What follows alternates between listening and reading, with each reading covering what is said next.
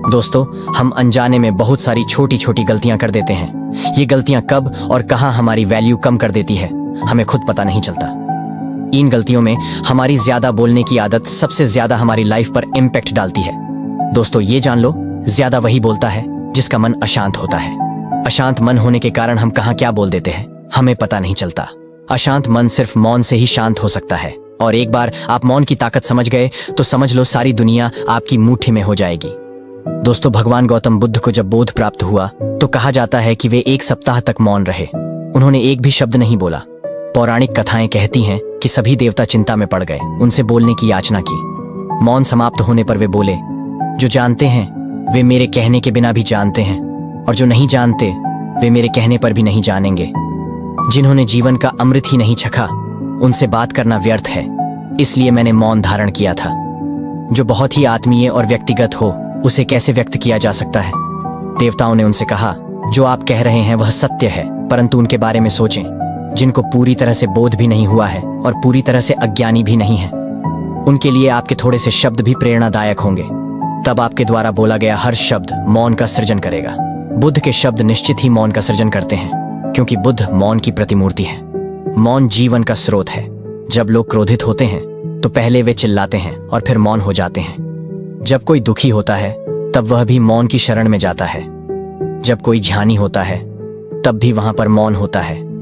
शुरुआत से ही बुद्ध ने संतुष्ट जीवन का निर्वाह किया।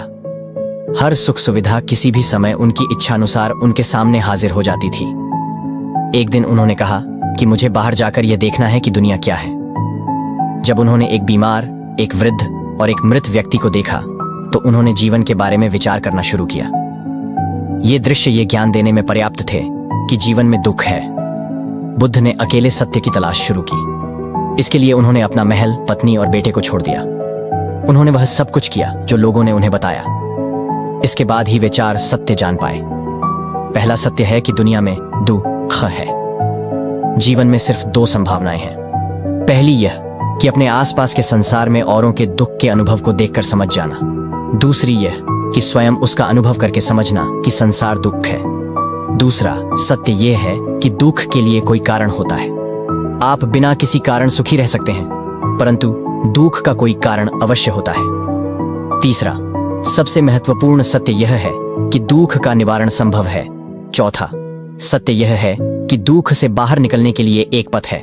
उस समय इतनी अधिक समृद्ध थी कि बुद्ध ने अपने मुख्य शिष्यों को भिक्षा का पात्र पकड़ा दिया और उनसे भिक्षा मांगने को कहा। उन्होंने राजाओं के शाही वस्त्र उतरवाकर उनके हाथ में भिक्षा का कटोरा दे दिया।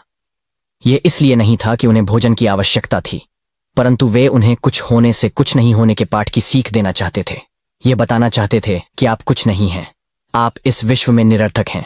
जब उस समय के राजाओं और ज्ञानियों को भिक्षा मांगने को कहा गया तो वे करुणा की मूर्ति बन गए। अपने सच्चे स्वभाव को देखें कि वह क्या है। वह शांति, करुणा, प्रेम, मित्रता और आनंद है। मौन में इन सब का उदय होता है। दुख, पछतावे और कष्ट को मौन निगल लेता है और आनंद, करुणा और प्रेम को जन्म देता है। तो दोस्तों, अब वीडियो में भगवान गौतम बुद्ध की एक ऐसी कहानी को सुनो, जो हमारे मन को शांत करके मौन की ताकत का एहसास करवाएगी। एक बार एक लड़का गौतम बुद्ध के पास जाकर कहता है, मेरे जीवन में बहुत अशांति है। कृपा करके आप मेरा मार्गदर्शन कीजिए, जिससे कि मैं इस अशांति से छुटकारा पा सकूँ। गौतम बुद्ध लड़के से जीवन की अशांति का कारण पूछते हैं। लड़का उत्तर देता है अत्यधिक विचारों के कारण मेरे भीतर बहुत सारे विचार आते हैं, जिससे मेरा मन अशांत रहता है। बुद्ध मुस्कुराते हुए कहते हैं, ऊपर आकाश की ओर देखो और बताओ कि तुम्हें सूर्य दिख रहा है। लड़का ऊपर देखता है और कहता है, धूप दिख रहा है। बुद्ध से पूछते हैं कि, अगर तुम लगातार धूप में खड़े रहोगे तब क्या होगा? वह कहता है, मुझे अत्यधिक गर्मी लगेगी और शरीर में बेचैनी होगी। बुद्ध लड़के से कहते हैं कि, अगर धूप में खड़े रहने से तुम्हें गर्मी लगती है तो इसमें दोष किसका है? सूर्य के ताप का या तुम्हारा? लड़का कुछ सोचने के बाद कहता है, इसका जवाब आप भी बताइए। बुद्ध कहते हैं, सूर्य का काम है ताप देना और ताप का काम है गर्मी लगना। ऐसे में तो दोष तुम्हारा ही है कि तुम धूप में जाकर खड़े हुए, जिससे कि तुम्हें गर्मी लगी। तुम्हें अगर शीतलता चाहिए तो तुम्हें छांव में रहना होगा। ठीक इसी तरह चंचल मन का भी स्वभाव होता है विचारों और भावनाओं को जागृत करना। विचार क्षण भर के लिए होते हैं, लेकिन विचार से पैदा हुई भावनाएँ देर तक टिकी रहती हैं। लेकिन यह तुम्हें निर्णय लेना है कि तुम्हें विचार और भावनाओं के साथ चलना है, या अलग दिशा बनानी है। बुद्ध कहते हैं, मन को शांत करने के लिए तन के आयाम पर काम करना सबसे आसान तरीका है। शरीर के स्तर पर हमारी कर्मेंद्रियाँ और ज्ञानेंद्रियाँ हैं।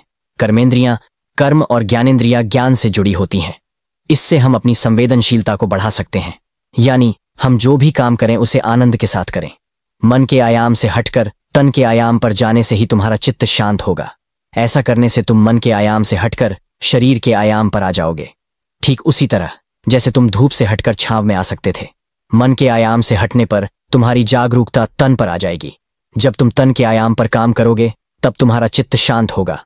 इसलिए हर काम को तन के आयाम पर करने से मन स्वत शांत हो जाता है। लड़का बुद्ध से कहता है, अपने भीतर के सुर को कैसे सुने? बुद्ध कहते हैं, किसी शांत स्थान पर रहकर, जहाँ शांति हो। तब अपनी आँखें बंद करो और मन के भीतर चल रहे शोर से हटकर भीतर के सुर को सुनने की कोशिश करो। सुर निरंतर चलता रहता है, लेकिन बाहर के शोर के कारण तुम अपने मन के भीतर चल रहे सुर को नहीं सुन पाते हो। जब तुम अपने दोनों कानों को अपने हाथों से बंद कर दोगे, तभी मन के सुर को सुन पाओगे। इस तरह तुम मन की अशांति से दूर हो जाओगे और तुम्हारा मन शांत हो जाएगा। दोस्तों, जब तक हम बाहर की ओर बोलते रहेंगे, हमारे भीतर अशांति रहेगी। जिस दिन हम मन से चुप हो जाएँगे तो तब बाहर हमारे मुख से कुछ भी निकले, हम शांत ही रहेंगे। दुनिया में जितनी बुराइयाँ हैं, परिवार में क्लेश है पति पत्नी में विवाद है, सब बोलने के कारण ही होते हैं। हम चुप रहना नहीं चाहते हैं, हमेशा सुना देना चाहते हैं। लेकिन व्यर्थ का बोलना ऊर्जा का नष्ट होना है। इसलिए जितने भी बुद्धत्व, साधु और संत हुए, वे एकांत की ओर गए, क्योंकि उन्हें अधिक बोलना ना पड़े और अधिक सुनना ना पड़े। महावीर ने बारह वर्ष और महात्मा बुद्ध ने दस वर्ष मौन रहने के बाद ध्यान प्राप्त किया। महर्षि रमण और चाणक्य भी मौन के उपासक थे। लेकिन आप इस संसार में रहकर भी एकांत रह सकते हैं। इसके लिए आपको अपनी उन ऊर्जाओं को बचाना होगा, जिसे आप व्यर्थ के शब्दों में नष्ट कर देते हैं। इसलिए उतना ही बोले जितना ज़रूरी हो। हमारे जीवन में एक नहीं, बल्कि बहुत सारे दुखों का कारण बोलना ही है, क्योंकि हमारी समस्या यही है कि हम चुप नहीं रह सकते। हमेशा कुछ न कुछ बोलते ही रहते हैं, और आपके बोलने के कारण ही आधे से ज़्यादा दुख निर्मित होते हैं। परिवार में कलह क्लेश का कारण भी हमारा बोलना ही होता है। आप जितनी भूख उतना भोजन खाते हैं, जितनी ज़रूरत उतना कार्य करते हैं। लेकिन क्या आपने इस बारे में कभी सोचा है कि आप कितना बोलते हैं? क्या आप उतना ही बोलते हैं जितनी आवश्यकता है या अनावश्यक ही सारे दिन बोलते हैं? इस बारे में कभी अकेले बैठकर ज़रूर सोचिए कि आज आपने दिन भर में कितना बोला, क्या बोला और सबसे ज़रूर कि क्यों बोला। इनमें से कितनी बातें ज़रूरी थीं और कितनी अनावश्यक। मनुष्य की प्रवृत्ति ऐसी है कि वह अपने मन में चल रही बातों को दूसरों को सुनाना चाहता है। और दूसरा भी आपके साथ ठीक वही काम करता है। ये बातें किसी अन्य या तीसरे व्यक्ति से संबंधित हो तो सुनने सुनाने का काम और भी दिलचस्पी से होता है। आप फिर जब कभी भी बैठते हैं तो इन्हीं बातों को फिर से दोहराया जाएगा और फिर से इन्हीं बातों पर विचार करेंगे।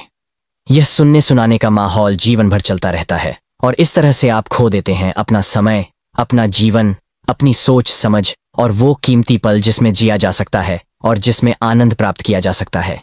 इसलिए इस सुनने सुनाने के माहौल से बाहर निकलें। दोस्तों, उम्मीद है वीडियो आपको पसंद आई होगी। अगर वीडियो थोड़ी भी अच्छी लगी तो वीडियो को लाइक करना और कमेंट करके चैनल को सब्सक्राइब भी कर देना।